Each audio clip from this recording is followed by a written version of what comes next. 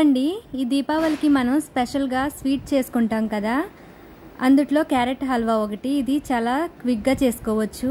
అందుకు కావాల్సినవి పొయ్యి వెలిగించుకొని బండి పెట్టుకొని రెండు టేబుల్ స్పూన్ల నెయ్యి వేసుకొని జీడిపప్పులు వేయించుకోవాలి.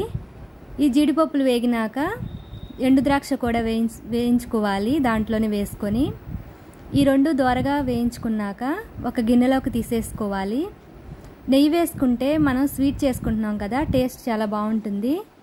తర్వాత ఇది తీసేసుకున్నాక అదే నెయ్యిలో మనం తురుము పెట్టుకున్న క్యారెట్ని వేసుకోవాలి. క్యారెట్ తురుముకుంటే తొందరగా మగ్గిపోయిద్ది. నేను రెండు కప్పుల క్యారెట్ తురుము వేసుకున్నాను. ఇది మూత పెట్టుకొని సగం మగ్గనివ్వాలి. ఇలా పచ్చివాసన పోయేదాకా మగ్గనివ్వాలి.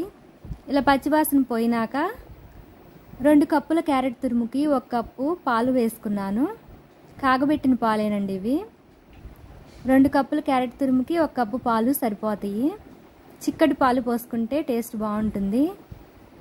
ఈ పాలంతా దగ్గర పడేదాకా ఉడకనివ్వాలి క్యారెట్ని పాలల్లో. ఇలా క్యా దగ్గర పడిపోయినాక పాలు కూడా కొంచెం కప్పు ఎల్తుగా ముప్పావు కప్పు తీసుకున్నాను పంచదార. ఇలా ముప్పావు కప్పు తీసుకుంటే కరెక్ట్ చక్కెర సరిపోయిద్ది. మనం తీపి ఇంకొంచెం ఎక్కువ తినాలనుకుంటే చూసుకొని వేసుకోవచ్చు.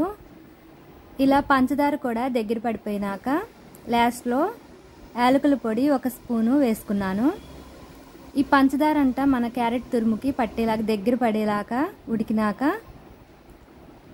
బాగా ఉడికిపోవాలి. ఈ పంచదార కూడా బాగా క్యారెట్కి పట్టాలి.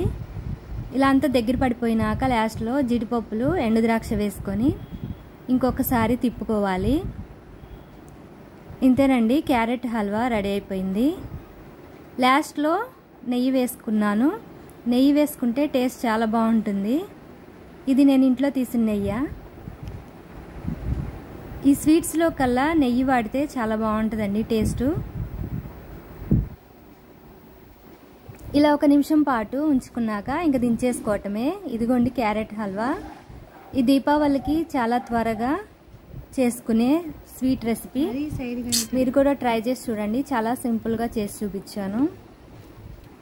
మీరు నా ఛానల్ని ఫస్ట్ టైం చూసినట్టయితే సబ్స్క్రైబ్ చేసుకోండి. Thanks for watching.